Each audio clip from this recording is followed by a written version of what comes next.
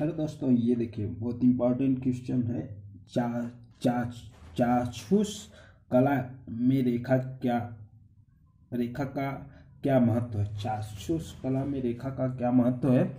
आज आप लोग देखेंगे। बहुत इम्पोर्टेंट है।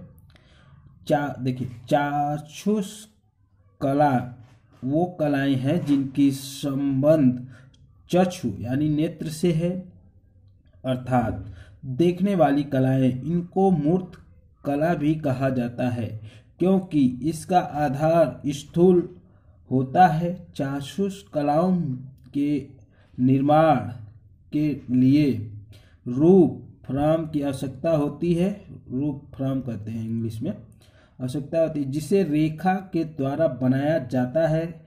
रेखा कला तत्वों में सबसे अहम और प्राचीन तत्व है जो रूप फ्राम की विशेषताओं को सरलता से व्यक्त तथा अनुभूत करता है। सृजन के लिए रेखा की अभिव्यक्ति का महत्वपूर्ण माध्यम है।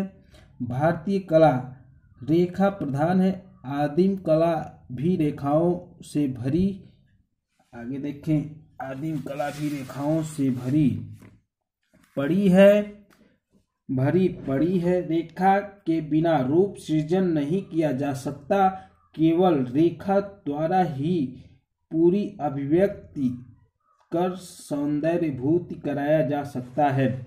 रेखा में अभिव्यक्ति की अपार संभावनाएँ होती हैं, जो भावनाओं को अंकित करने की क्षमता रख, क्षमता रखती है। दृश्य कला के मूलभूत तत्वों में रेखा प्रधान और प्रथम स्थान पर है, जो उसकी महत्ता को व्यक्त करती है। रेखा के संबंध में विष्णु धर्मोत्तर पुराण में कहा गया है कि रे, कहा गया है। दोस्तों, पेपरवा में यह सूत्रवा लिख देवा ना तो नंबरवा तो अपने आप उड़त, अरे मर्सिटी दर्ज हो जाए समझ ला।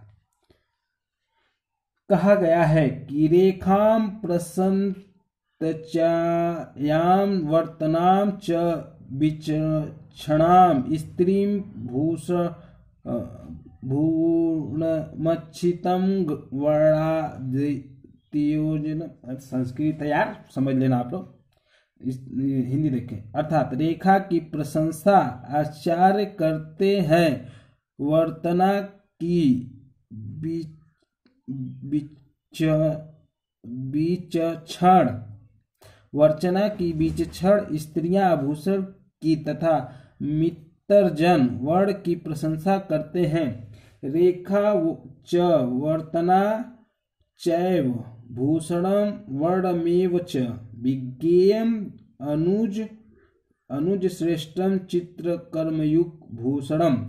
ये चाचूस कला थी, दोस्तों, इतना लिख दे बालकों तो समझ ला ज़िंदगी हरी हो जाई हो।